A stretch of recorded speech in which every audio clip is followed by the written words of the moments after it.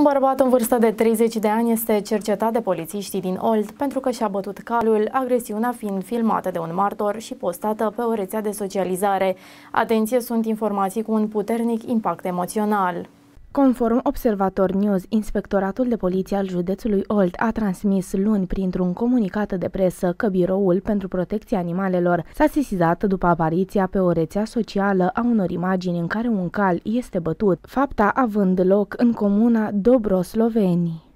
Din primele verificări, polițiștii au stabilit faptul că un bărbat în vârstă de 30 de ani din comuna Dobrosloveni ar fi exercitat acte de violență asupra unei cabaline, a anunțat IPJ Olt. Polițiștii din cadrul Biroului pentru Protecția Animalelor au emis un ordin de plasare în adăpost pentru calul agresat și pe numele bărbatului. Au întocmit dosar penal pentru comiterea infracțiunii de rănire cu intenție a animalelor și schingiuirea animalelor. În imaginile postate pe o rețea de socializare se observă cum bărbatul respectiv își lovește de mai multe ori cu un parcalul înhămat la căruță.